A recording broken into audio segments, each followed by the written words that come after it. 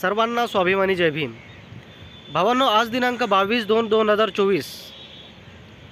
आणि मागच्या चौदा तारखेला चौदा तारखेला काय झालं असेल तर तर ते तर ज्यांना माहिती असेल त्यांनाच माहिती असेल. पण बाकीचे फक्त व्हॅलेंटाईन डे साजरा करण्यामध्ये व्यस्त असतील.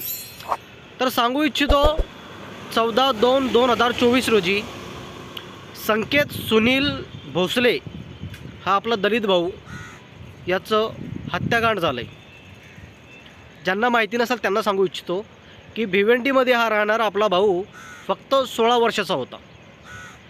याच्यावरती जातीवादी कंठकांनी मारहाण करून मृत्यूच्या दारामध्ये सोपलं. तर भावांनो ही घटना घडून जास्त दिवस नाही झाले फक्त चौ मागच्या चौदा तारखेला ही घटना घडली आहे. तर भावांनो एकनाथ शिंदे शिंदे गटातील विभाग प्रमुख कैलास धोत्रे व त्यांचा मुलगा देवा धोत्रे आणि आणि त्यांचा भासा करण लष्कर यांचे अठरा ते वीस जणांचे ग्रुपनी आपल्या सोळा वर्ष भावावरती प्राणघातक हल्ले गेले कारण किरकोळ कारणावरून यांचं भांडण स्टार्ट झालं व आपल्या भावाचा मृत्यूदेह आढळला.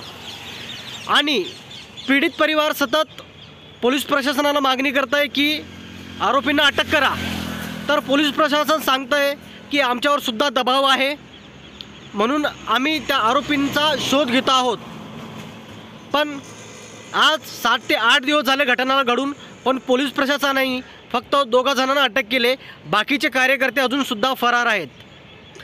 तर अशा घटनांचा आम्ही जाहीर निषेध करतो आणि अशा माधोरचोद आरोपींना लवकरात लवकर पोलीस प्रशासनाने अटक करावे व आमच्या पीडित परिवारांना न्याय मिळवून द्यावे. आणि आम्ही अशा बाणगुळांचा सुद्धा विरोध करतो. जे काही जातीवादी कंठक लहान मुलगा सोळा वर्षीय मुलगा ठीक आहे याच्यावर प्राणघातक हल्ले करतात. बावीस ते तेवीस वरा वर्षांची मुलं या मुलांना आखली कशा नाहीत की आपल्याहून हा मुलगा लहान आहे. ठीक आहे तर अशा घटनेचा भावांनो आपण जाहीर निषेध करतो. आणि असे काही बांडगुळ आढळल्यास आपणसुद्धा यांना चांगल्या प्रकारे चोप द्या.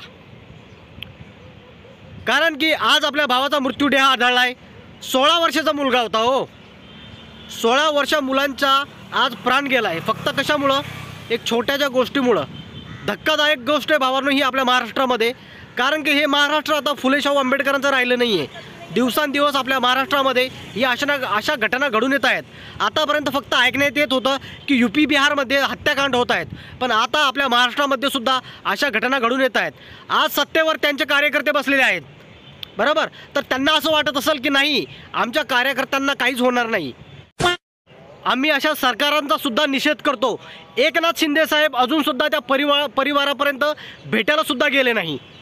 भिवंडी का जास्त दूर नाही भावांनो पण ही सत्ता सत्तेवर असणारे यांची अशी मनस्थिती झाली आहे की आम्ही आता सत्तेवर आहेत आम्ही काहीसुद्धा केलं तरी आमचं कोणीही वाकडं करू शकत नाही. तर अशा राजकारणी व्यक्तीचा अशा सत्तेचा आम्ही निषेध करतो आणि पोलीस प्रशासनांना आम्ही मागणी करतो की लवकरात लवकर हे आरोपी अटक झाले पाहिजे व पीडित परिवारांना न्याय मिळवून द्या. जय भीम आणि जय संविधान.